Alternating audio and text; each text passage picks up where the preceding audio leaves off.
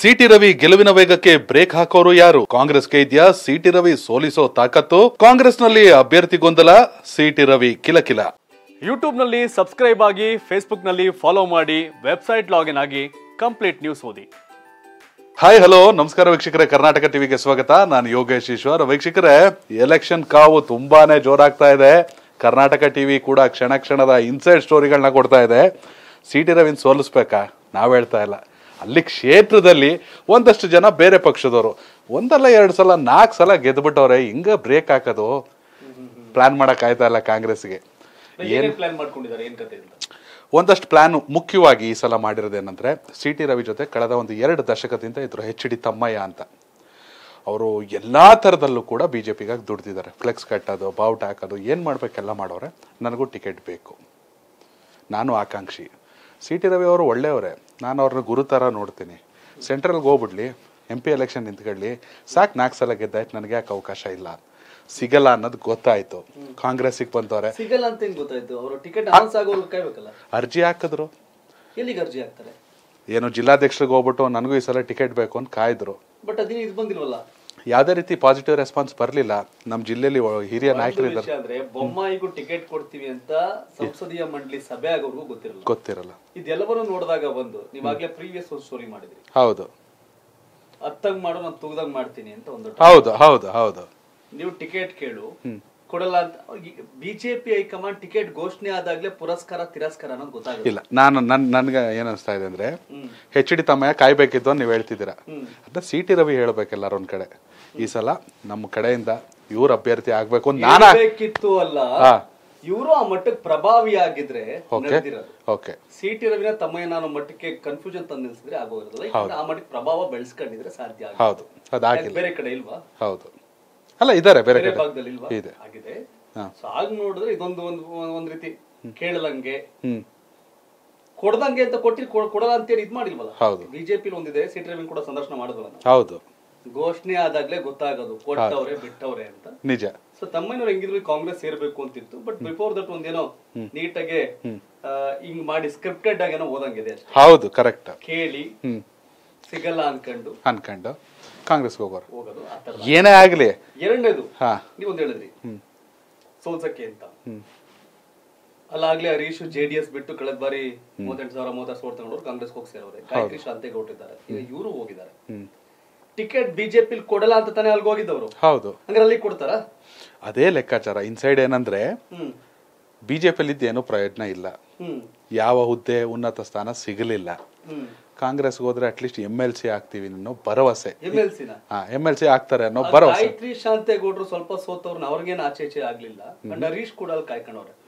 ಗಾಯತ್ರಿ ಶಾಂತೇಗೌಡರು ಹರೀಶ್ ಮಾಡಿವನೆ ಸತೀಶ್ ಇವೆಲ್ಲ ಆದ್ಮೇಲೆ ತಮ್ಮ ಲೆಕ್ಕಾಚಾರ. ಹ್ಮ್. ಅಲ್ಲಿ ಬಂದ ತಕ್ಷಣ ತಮ್ಮನವ್ರ ಮನೆ ಹಾಕಿದ್ರೆ ಹರೀಶ್ ಮತ್ತೆ ಗಾಯತ್ರಿ ಶಾಂತೇಗೌಡರು ಸುಮ್ಮನೆ ಇರ್ತಾರ? ಸುಮ್ನೆ ಇರ್ತಾರೆ ಅನ್ನೋದು ಸತ್ಯಕ್ಕೆ ದೂರವಾದ ಮಾತೆ. ಗಾಯತ್ರಿ ಶಾಂತೇಗೌಡರು ಕಾಂಗ್ರೆಸ್ ಇಂದ ಒಳ್ಳೆ ಅಭ್ಯರ್ಥಿ ಸಿ ಟಿ ರವಿ ಅವರ ವಿರುದ್ಧ ಅಲ್ಲಿ ಚರ್ಚೆ ಆಗ್ತಿರೋ ಪ್ರಕಾರ. ಆದ್ರೆ ಹೇಗಾದ್ರೂ ಮಾಡಿ ಸಿ ಟಿ ರವಿಯ ಗೆಲುವಿನ ಓಟಕ್ಕೆ ಬ್ರೇಕ್ ಹಾಕ್ಬೇಕನ್ನೋದು ಅಷ್ಟೇ ಕಾಂಗ್ರೆಸ್ ಲೆಕ್ಕಾಚಾರ. ಲಿಂಗಾಯತರು ಕುರುಬ ಸಮುದಾಯ ಮುಸಲ್ಮಾನರು ಒಂದಾದ್ರೆ ಹೌದು. ತಮ್ಮಯ್ಯ ಹೋದ ತಕ್ಷಣ ಎಲ್ಲ ಹರೀಶ್ ಹೋದ ತಕ್ಷಣ ಲಿಂಗಾಯತರು ಪೂರ ಕಾಂಗ್ರೆಸ್ ಹೋಗ್ಬಿಟ್ರು. ಅದು ಆ ಸಾಧ್ಯತೆ ಯಾಕಡೆ ಕುರುಬರಿಗೆ ಟಿಕೆಟ್ ಕೊಟ್ರೆ ಲಿಂಗಾಯತರು ಮಾಡ್ತಾರ ಇಲ್ವಾ ಅನ್ನೋ ಡೌಟ್ ಬಿಜೆಪಿ ಬಿಜೆಪಿಗೆ ಆಗ್ಬಹುದು ಹೌದು. ಯಡಿಯೂರಪ್ಪ ಇವತ್ತು ಭಾಷಣ ಮಾಡ್ಬೇಕಾದ್ರೆ ಶಬ್ದ ಮಾಡಿದ್ದಾರೆ ಕಡೆಯಲ್ಲಿ ಸದನದಲ್ಲಿ. ಬಿಜೆಪಿನ ಅಧಿಕಾರಕ್ಕೆ ತರೋದೇ ನನ್ನ ಗುರಿ. ನಾನು ಸ್ಪರ್ಧೆ ಮಾಡಲ್ಲ ಬಿಜೆಪಿನ ಅಧಿಕಾರಕ್ಕೆ ತರ್ತೀನಿ ಯಡಿಯೂರಪ್ಪ ಅದು ಮತ್ತೆ ಪಾರ್ಟಿದು ಅಪ ಒಂಥರ ಭಾವನಾತ್ಮಕ ಸಂಬಂಧ ಇದ್ದಂಗೆ. ನಿಜ. ಈಗ ಲಿಂಗಾಯತ ಸಮುದಾಯ ಕಾಂಗ್ರೆಸ್ ಶಿಫ್ಟ್ ಆಗ್ಬಿಡುತ್ತಾ ಈ ಬೆಳವಣಿಗೆಯಿಂದ? ಇಲ್ಲ. ಯಡಿಯೂರಪ್ಪ ಅವ್ರನ್ನ ಈನಾಮಾನ ನಡ್ಸ್ಕೊಂಡು ಅವ್ರನ್ನ ಕಣ್ಣೀರ್ ಹಾಕ್ಸಿ ಗೋಳಿ ಕಂಡಿದ್ರೆ ಅದು ನೆಗೆಟಿವ್ ಆಗಿರೋದು. ಬಟ್ ಅವತ್ತು ಯಡಿಯೂರಪ್ಪನವ್ರು KJP J P hmm C T Ravi ಗೆದ್ದಿದ್ರು. ಹೌದು. ಇದನ್ನ ಅರ್ಥ ಮಾಡ್ಕೊಳ್ಳಿ. ಕರೆಕ್ಟ್. ಯಡಿಯೂರಪ್ಪನವ್ರನ್ನ ಈನಾಯವಾಗಿ ನಡ್ಸ್ಕೊಂಡಾಗ್ಲೇ ಬಿಜೆಪಿಗೆ ಭಾರಿ ನೆಗೆಟಿವ್ ಇದ್ದಾಗ್ಲೇ ಸಿ ಟಿ ರವಿ ಗೆದ್ದಿದ್ರು. ಹಾಗಾಗಿ ರವಿ ಆಲ್ಸೋ ಸ್ಟ್ರಾಂಗ್ ಹೌದು. ಇಲ್ಲಿ ನೀವು ಜಾತಿ ಈಕ್ವೇಶನ್ಸ್ ಲಿಂಗಾಯತರು ಕುರುಬ್ರು ಮುಸಲ್ಮಾನರು ಒಂದಾಗ್ಬಿಟ್ರೆ ಗೆದ್ಬಿಡುತ್ತೆ ಅಂತ ಒಂದು ವರ್ಗ ಲೆಕ್ಕಾಚಾರ ಇಟ್ಕೊಂಡಿದೆ. ಆದರೆ ಚಿಕ್ಕಮಗಳೂರು ಬಂದಾಗ ನಡೆಯಿದೆ ಹಿಂದೂ ವರ್ಸಸ್ ಮುಸ್ಲಿಂ ಅಂತ ಅಷ್ಟೇ ಅಷ್ಟೇ. ನೀವು ಕೂಡ ಅಲ್ಲಿಗೆ ಹೋಗಿದ್ರಿ ಹೌದು. ಏನಿದೆ ಗ್ರೌಂಡು ಗ್ರೌಂಡ್ ರಿಯಾಲಿಟಿ ಸಿಟಿ ಒಳಗಡೆ ಎಲ್ಲರೂ ಕೂಡ ಸಿಟಿ ರವಿ ಅಂತಾನೆ ಹೇಳ್ತಿದ್ದಾರೆ. ಬೇರೆ ಪಕ್ಷದ ಪರವಾಗಿ ಯಾರು ಮಾತಾಡಿದ್ರೆ ಅವರ ಪಕ್ಷದ ಕಾರ್ಯಕರ್ತರಾಗಿರ್ತಾರೆ. ಜನರಿಗೆ ಹಂಗಾರೆ ಸಂಪೂರ್ಣ ಸಿಟಿ ರವಿ ಒಪ್ಪರ ಒಲವಿದೆಯಾ? ಖಂಡಿತವಾಗ್ಲೂ ಇಲ್ಲ ಅಂತಾನು ಹೇಳ್ಬೋದು. ಒಂದಷ್ಟು ಜನ ಮಾತೇ ಆಡಲ್ಲ ನಮ್ಗೆ ಯಾಕೆ ಬೇಕು ಅಂತಾರೆ. ಒಲವಿದ್ರೆ ಆಬ್ವಿಯಸ್ಲಿ ಸಿ ಟಿ ರವಿ ಅಂತಿದ್ರು. ಇಲ್ಲ ಅಂತಿದ್ರೆ ಆಬ್ವಿಯಸ್ಲಿ ಇಲ್ಲ ನಮಗೆ ಸಿ ಟಿ ರವಿ ಇಲ್ಲ ಬೇರೆ ಬೇರೆಯವ್ರು ಬೇಕು ಅಂತಿದ್ರು. ಅವ್ರಿಗೆ ಹೇಳೋಕ್ಕೂ ಭಯ. ಇದು ರಿಯಾಲಿಟಿ ಆದರೆ ಸಿ ಟಿ ರವಿ ಚಿಕ್ಕಮಗಳೂರು ಕ್ಷೇತ್ರದಲ್ಲಿ ಅತೀ ಪ್ರಭಾವಿ ನಾಯಕರಾಗಿ ಆಲ್ರೆಡಿ ಬೆಳೆದಿದ್ದಾರೆ ಪ್ರೂವ್ ಮಾಡೋದೇನಿಲ್ಲ. ಒಂದಷ್ಟು ಜನ ಅವರು ಸಿ ಎಂ ಆಗ್ತಾರೆ ಅಂತ ಕೂಡ ಕನಸನ್ನು ಕಟ್ಕೊಂಡಿದ್ದಾರೆ. ಸಿ ಟಿ ರವಿ ಅವ್ರಿಗೆ ಇದೆಯೋ ಅಲ್ವೋ ಗೊತ್ತಿಲ್ಲ. ಜನರಿಗಂತೂ ಇದೆ.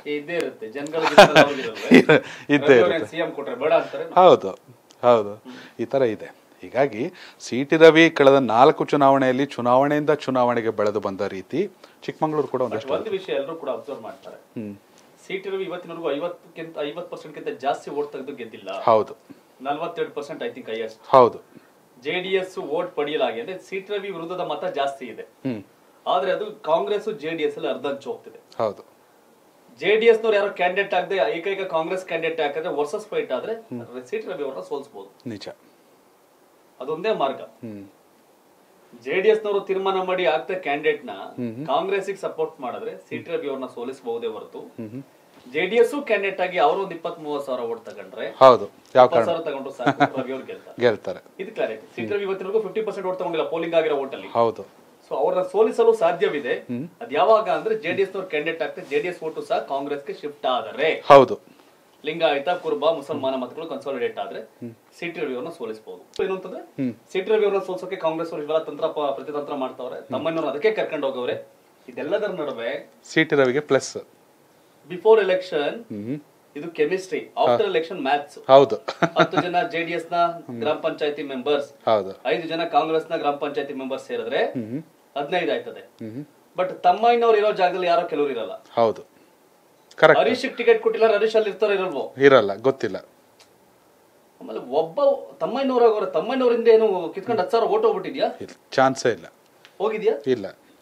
ಇದೆಲ್ಲವೂ ಕೂಡ ಸಾಧ್ಯತೆಗಳಿದೆ ಹರೀಶ್ ಜೆಡಿಎಸ್ ಬಿಟ್ಟು ಕಾಂಗ್ರೆಸ್ ಹೋಗ್ಬಿಟ್ರು ಅಂತ ಜೆಡಿಎಸ್ ಅವ್ರಲ್ಲ ಕಾಂಗ್ರೆಸ್ ಹೋಗ್ಬಿಟ್ಟವ್ರ? ಇಲ್ಲ. ಖಂಡಿತ ಇಲ್ಲ. ಯಾರೋ ತಿಮ್ ಶೆಟ್ಟಿರೋ ಮತ್ತೆ ಯಾರೋ ಆ ಶೆಟ್ಟಿ ಯಾರೋ ಕ್ಯಾಂಡಿಡೇಟ್ ಆಗಿರ್ಬೇಕು ಜೆ ಡಿ ಎಸ್ ಹೌದು. ಸೊ ಇದೆಲ್ಲವೂ ಇದೆ ರಾಜಕೀಯ ಅಷ್ಟೇ. ಸೀಟ್ ರವಿ ಈಗಲೂ more than forty percent vote ತಗೋತಾರೆ. ಹೌದು. ಜೆಡಿಎಸ್ ಅಲ್ಲಿ ಓಟಿಗೆ ಒಂದ್ ಹದಿನೈದು ಇಪ್ಪತ್ತು ಸಾವಿರ ದಾಟ್ತು ಅಂದ್ರೆ ಅವ್ರಿಗೆ ಆರಾಮ್. ಬಟ್ ಜೆಡಿಎಸ್ ಕ್ಯಾಂಡಿಡೇಟ್ ಆಗ್ತಿ ಎಲ್ಲ ವರ್ಸಸ್ ಜಿ ಸೀಟ್ ರವಿ ವರ್ಸಸ್ ಅದರ್ಸ್ ಅಂತ ಆದ್ರೆ ಸೀಟ್ ರವಿಗೆಲ್ಲ ಇದು ವಾಸ್ತವ. ನಿಮ್ ಪ್ರಕಾರ ವೀಕ್ಷಕರೇ ಚಿಕ್ಕಮಗಳೂರು ಕ್ಷೇತ್ರದಲ್ಲಿ ಕಾಂಗ್ರೆಸ್ ಏನೇನೋ ತಂತ್ರ ಪ್ರತಿತಂತ್ರ ಎಲ್ಲ ಮಾಡ್ತಿದಾರಲ್ಲ ಇವೆಲ್ಲ ವರ್ಕೌಟ್ ಆಗುತ್ತಾ? ಬಿಜೆಪಿಯ ತಮ್ಮನವ್ರು ಏನು ಸೇರ್ಕೊಂಡಿದಾರಲ್ಲ. ಕಾಂಗ್ರೆಸ್ಗೆ. ಇದು ಕಾಂಗ್ರೆಸ್ಗೆ ಲಾಭನ? ರವಿ ಅವ್ರನ್ನ ಸೋಲ್ಸುವಷ್ಟು ಲಾಭ ಆಗುತ್ತಾ? ನಿಮ್ಮ ಅಭಿಪ್ರಾಯವನ್ನ ಕಾಮೆಂಟ್ ಮಾಡಿ ತಿಳಿಸಿ. ಇದು ಕರ್ನಾಟಕ ಟಿವಿ ಕನ್ನಡಿಗರ ಧ್ವನಿ. ಫೆಬ್ರವರಿಯಲ್ಲಿ ಹೇಗಿದೆ ಕರ್ನಾಟಕದ ಟ್ರೆಂಡ್ ಈಗ ಚುನಾವಣೆ ನಡೆದ್ರೆ ಬಿಜೆಪಿಗೆ ಎಷ್ಟು ಸೀಟು? ರಾಜ್ಯದಲ್ಲಿ ಕಾಂಗ್ರೆಸ್ ಮತ್ತೆ ಅಧಿಕಾರಕ್ಕೆ ಬರುತ್ತಾ? ಕುಮಾರಸ್ವಾಮಿ ಕಿಂಗ್ ಆಗ್ತಾರ ಕಿಂಗ್ ಮೇಕರ್ ಆಗ್ತಾರ? ಆಮ್ ಆದ್ಮಿ ಪಾರ್ಟಿ ರೆಡ್ಡಿ ಪಾರ್ಟಿಯಿಂದ ಯಾರಿಗೆ ಡ್ಯಾಮೇಜ್ ಕರ್ನಾಟಕ ಟಿವಿಯಲ್ಲಿ ಫೆಬ್ರವರಿ ತಿಂಗಳ ಮೆಗಾ ಸರ್ವೆ. ರಾಜಕೀಯ ವರದಿ ಅಂದ್ರೆ ಕರ್ನಾಟಕ ಟಿವಿ. ಯೂಟ್ಯೂಬ್ನಲ್ಲಿ ಸಬ್ಸ್ಕ್ರೈಬ್ ಆಗಿ ಫೇಸ್ಬುಕ್ನಲ್ಲಿ ಫಾಲೋ ಮಾಡಿ ವೆಬ್ಸೈಟ್ ಲಾಗಿನ್ ಆಗಿ ಕಂಪ್ಲೀಟ್ ನ್ಯೂಸ್ ಓದಿ.